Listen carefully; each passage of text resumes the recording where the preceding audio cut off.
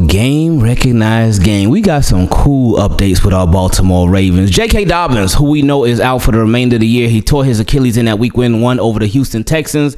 He's been working, he's been rehabbing, and he's obviously trying to come back next year. But somebody who also tore their Achilles in their week one game, a win by the way too, was Aaron Rodgers. And it was said that Aaron Rodgers is actually rehabbing with J.K. Dobbins. And I'm like, oh, that's kind of cool, man. I like that. And see, I, I like when some of the more popular people, whether they football players or actually just stars, when they recognize the Baltimore Ravens. Like I know a lot of people not really feeling the whole Kim Kardashian, Odell Beckham Jr. thing, but I like it. I, am cool with it because it's bringing more attention to the Baltimore Ravens. So I thought that was a neat little tidbit to start us off. Now Ravens also made some roster moves. They re-signed Eric Tomlinson. Now we know he's a tight end. Uh, he was with the Ravens a couple of years ago. Solid guy, but mostly known as a blocking tight end. Now the Baltimore Ravens need all the blocking that they could get because Lamar Jackson been just he's just been getting pressured way too much. He's been having people in his face way too much. He just the protection has not been good overall this year. They've been having some good moments here and there, but overall it just in my opinion it has not been good. So they brought in Eric Tomlinson to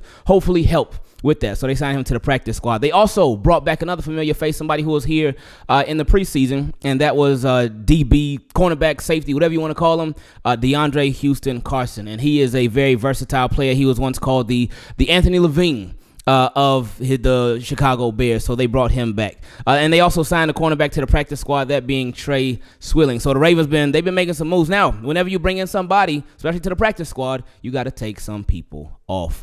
Uh, and they did that without any doing of their own because they lost safety Duron Harmon, former Super Bowl champion with the Patriots. They lost him to the Chicago Bears. The Bears signed uh, Duron Harmon off the Baltimore Ravens practice squad. Uh, and they also cut Dontay Demus Jr., which it's a bittersweet thing, man, because I know a lot of Ravens fans, especially with him being from Maryland, um, a lot of Ravens fans wanted him to make the team, wanted him to be on the team, and, and, had high hopes for him. So when they brought him back just last week, it was like, all right, let's go, baby. But now they're releasing him a week later. But now, while that it is, it's bad for him, for the Baltimore Ravens, and when we're talking about health, this does speak volumes, in my opinion, to the Baltimore Ravens' health of at least one wide receiver because they letting him go so, in my opinion, I think that we're going to get at least one wide receiver back today at practice. Now, I, I know Odell Beckham Jr., I, I would think it would be him because Odell Beckham Jr., you know, with Marlon Humphrey with the victory IG Live, and I hope that we get to see a lot more of those because it's always good when we see those because that means the Ravens won. But Odell Beckham Jr., Marlon Humphrey went to Odell, Odell Beckham Jr. the other day after the Ravens won, and he was trying to talk to him. Odell was like, no, no, no, no, talk, talk to me when I play next week. And I was like, okay, Odell, hey, you said it, not me. So, hey, Odell, we waiting on you. And Odell's somebody who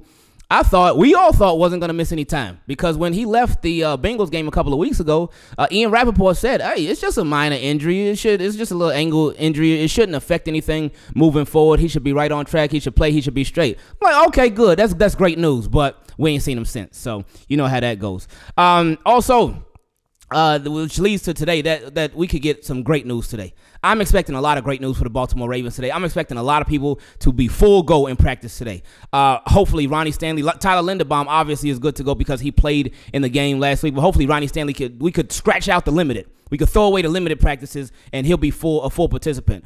I'm expect I'm really expecting Marlon Humphrey back this week. I'm really expecting him to be there this week. I'm expecting Odell Beckham Jr. back. Uh, Rashod Bateman, ah, I don't know.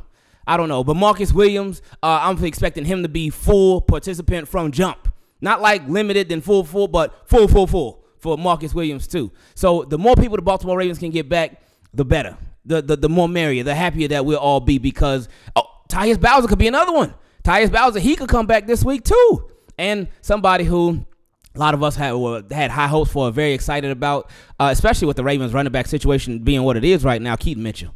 If Keaton Mitchell could get activated too, oh, that would be nice because the Baltimore Ravens got a little thing at running back right now. And what I mean when I say that, Gus Edwards, obviously, that's a, the number one guy. Should have been a number one guy long time ago. But anyway, he's the number one guy. Then you got Justice Hill. And Justice Hill, hey, that man was showing out uh, on Sunday with the cuts. Like, I knew Justice Hill could cut. I didn't know he could cut like that. So Justice Hill was doing his thing.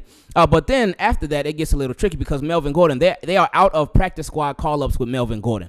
So if they want to call him up again, they either have to sign him to the active roster or they have to release him and then hope that he clears waivers and then they can sign him back to the practice squad. So that's what's up with him. And then you got Kenyan Drake. He got a couple more call ups left. So we'll see what happens with that. But I do, seriously, I, I expect a lot of great news this afternoon when the Ravens take the practice field. I expect we uh, the, the, tweets to be going off, the reports to be going off. Hey, this guy's at practice. This guy's at practice. He returned to practice. Oh, it's nice to see this guy finally here. So I, I'm expecting all of that. I really am. Now we got a big game this week because the Baltimore Ravens play the Pittsburgh Steelers, and the Baltimore Ravens could, if they could sneak out a win this week, then they would go 3 and 0 in away division games. So that would mean the rest of the division games will be all be at the crib, all be at M&T Bank Stadium. So if you could sneak this win against the P- Pittsburgh Steelers, that could go such a long way for your season and make your job that much easier down the stretch when it comes to the division. But uh, speaking of the division, Kenny Pickett, his status right now is up in the air uh, for the Ravens Steelers game. They're saying that he might try to practice this week. He'll try to give it a go at practice and see how he feels. Uh, but if not Kenny Pickett, then Mitch Trubisky. So either way, it'll be a challenge. From either way, we saw Kenny Pickett, especially in clutch time against the Baltimore Ravens last year. We saw when he drove down the field for that game-winning drive, and Najee Harris scored it over Roquan Smith. We all remember. I don't like to bring it up, but we have to because it was reality. So hopefully, we don't see the same thing happen twice and the Baltimore Ravens take care of business against whether it's Kenny Pickett or whether it's Mitch Trubisky. Both will present their challenges. But somebody else who's a big part of what the Pittsburgh Steelers do is Pat Freiermuth. And Pat Freiermuth, uh, he is he got some injury going on, and he is expected to be just like the end of these videos and be